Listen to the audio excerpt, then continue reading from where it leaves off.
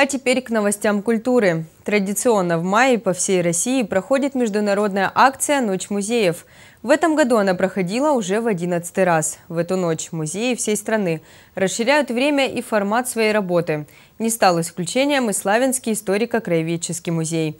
Основная тема акции в этом году – 80-летие со дня образования Краснодарского края, 225-летие со дня освоения казаками кубанских земель.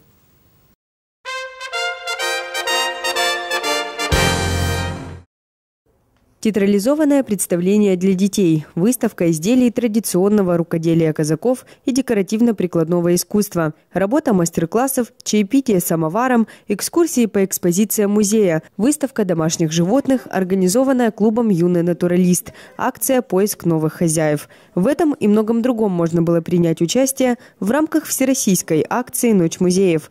Кроме того, в этот день в отделе природы провели мероприятия, посвященные Году экологии 2017. 20. Самое главное, мы делаем акцент на патриотизм.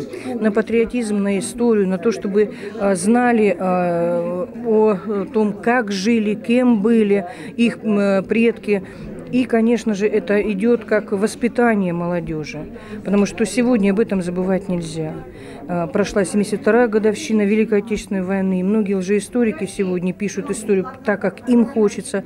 Поэтому наша задача именно музейных работников а, заниматься э, тем, чтобы а, не только сохраняли и показывали и то, что было когда-то, то есть экспонат, сбором экспоната, но и, конечно же, патриотизм патриотическое воспитание молодежи. Среди посетителей музея атамана районного казачьего общества Александр Заволока. В акции «Ночь музеев» принимает участие каждый год вместе с семьей. Для них это традиция.